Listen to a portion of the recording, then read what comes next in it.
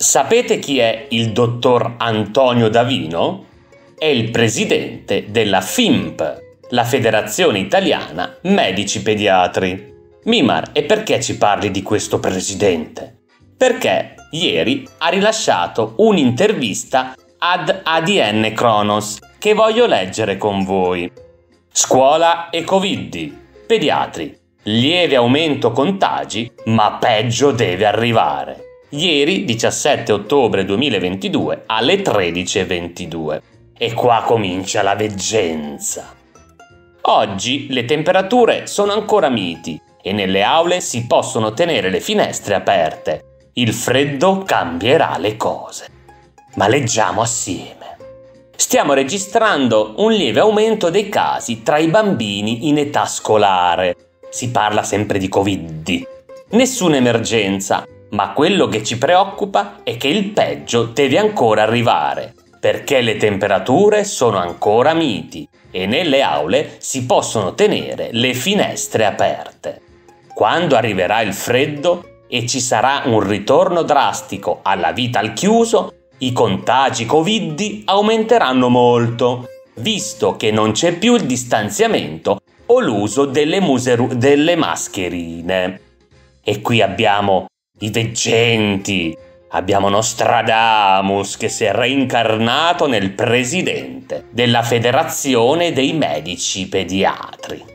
Così, alla DN Cronus Salute, Antonio Davino, presidente FIMP, la Federazione Italiana Medici Pediatri, facendo il punto della situazione dei contagi Covid a scuola.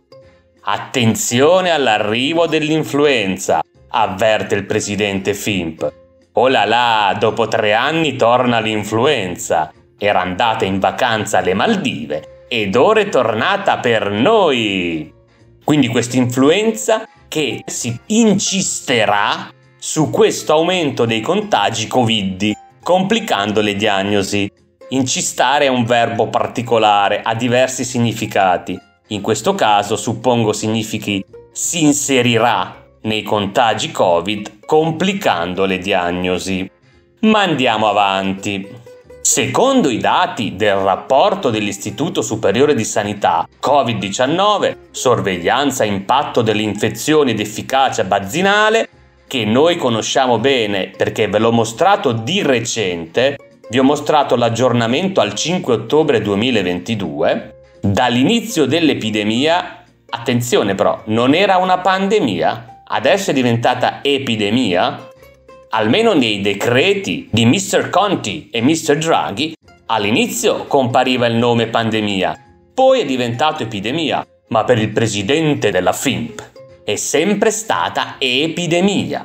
Quindi dall'inizio di questa cosa sono stati diagnosticati e riportati 4.628.181 casi nella popolazione 0-19 anni, di cui 23.563 ospedalizzati, 525 ricoverati in terapia intensiva e 73 deceduti.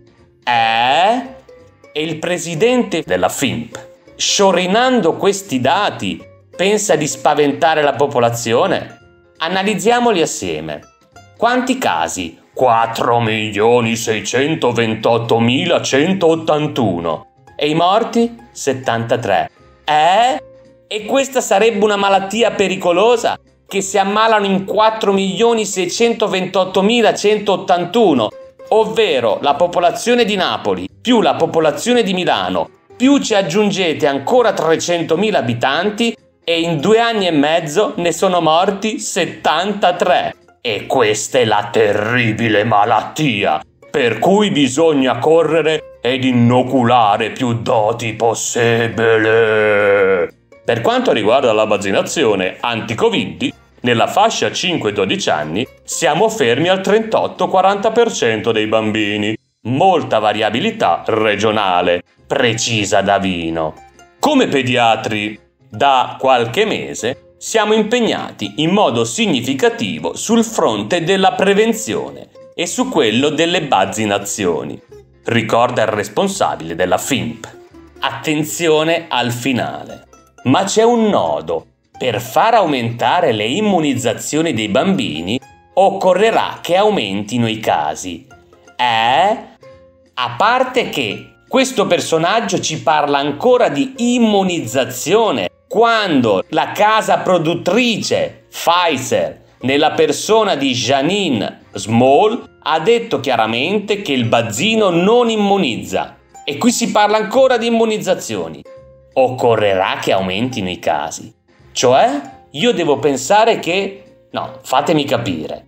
Sapete che Mimar è un mentecatto, lui legge i testi ma non li capisce, cioè almeno 9 volte su 10 lui non li capisce. Quindi occorrerà che aumentino i casi, cosa vuol dire? Cosa devo pensare io? I casi aumentano da soli o c'è qualcuno che li fa aumentare? No, sto domandando, eh, da mentecatto che non capisce quello che legge.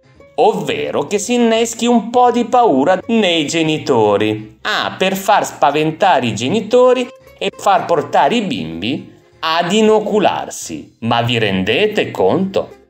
Noi continueremo a lavorare su questo fronte convinti delle validità delle linee guida nazionali.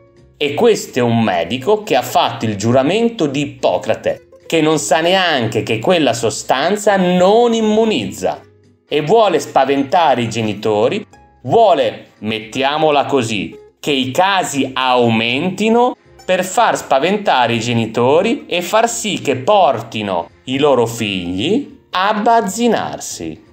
Voor u, mevrouw Small, heb ik de volgende vraag waar ik een duidelijk antwoord op wil. And I will speak in English so there are no misunderstandings. Was the Pfizer COVID vaccine tested on stopping the transmission of the virus before it entered the market?